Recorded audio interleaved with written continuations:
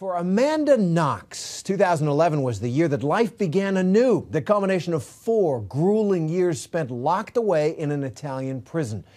Following an appeals court ruling that freed her, Knox returned to the U.S., relieved and thankful. But earlier today came an Italian Supreme Court decision that all but ensures Amanda Knox's long fight for a return to normalcy will rage on. ABC's Neil Karlinsky reports.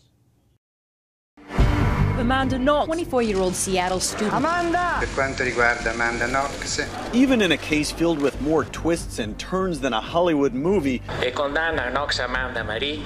Thank you for being there for me.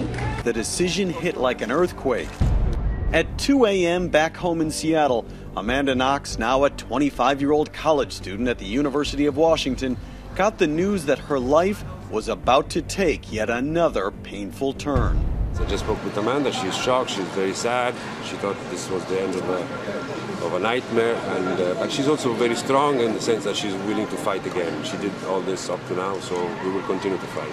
It was Italy's highest court, its Supreme Court, that made the stunning reversal.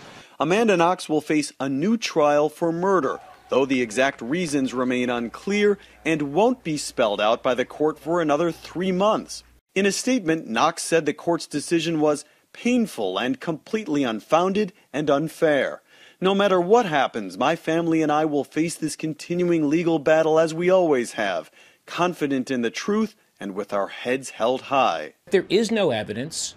There never was any evidence, and there never will be any evidence. So they remained cautiously optimistic that even upon this remand to the appellate court, that the same result will occur.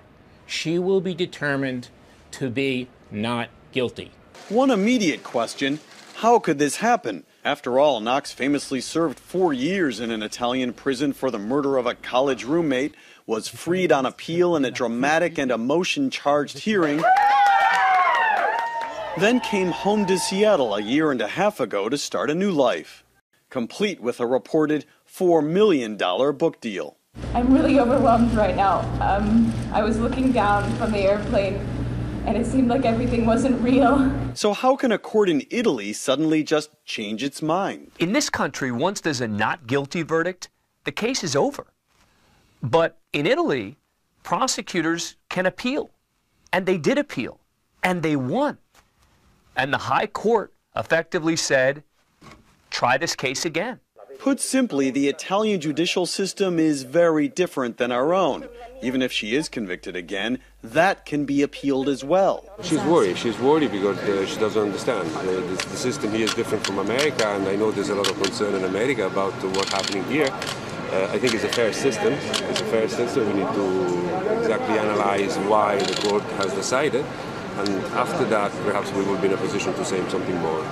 Knox came to Perugia to study Italian in 2007. Knox and her former boyfriend were found guilty. Amanda Knox found guilty of murder in Perugia, Italy. found guilty of sexually assaulting and killing Miss Kercher. It was just weeks after her arrival that Meredith Kercher was brutally killed.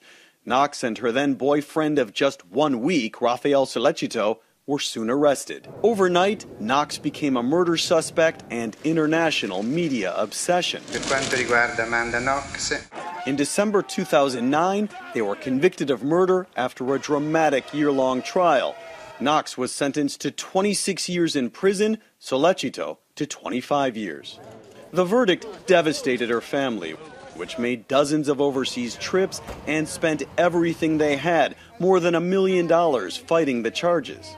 Anger, disbelief on how a judicial system could even come up with a verdict uh, like this. It's beyond me. This is completely unjust, and I'm in complete shock. After a thousand hours in court, 47 months locked in prison, Knox pleaded her case in a last ditch appeal. I'm paying with my life for something I haven't done, she said. I am not what they say I am. In a stunning move, the appeals court agreed, Assolve entrambi gli imputati dai reati loro scritti ai capi. citing shoddy police work and a lack of forensic evidence, and throwing out her conviction in an emotionally overwhelming verdict. What's important for me to say is just thank you to everyone who's believed in me who's defended me, who's supported my family. Since her return home, Knox could be seen on the streets of Seattle, getting coffee between creative writing classes. She has a boyfriend and lives in her own apartment. She has plans, too. Amanda Knox wants to make a living as a writer, but that will have to wait. Her life yet again has been put on hold. No matter what happens in this case, I think it's very unlikely that Amanda Knox would be forced to go back to Italy. Amanda Knox's chronicle of her ordeal will be published next month, long before the final chapter of her own real life drama is anywhere near finished. I'm Neil Karlinsky for Nightline in Seattle. So Amanda Knox's memoir waiting to be heard, that'll, that's going to be released April 30th. And ABC News will air her first interview with Diane Sawyer that evening at 10 p.m. Eastern.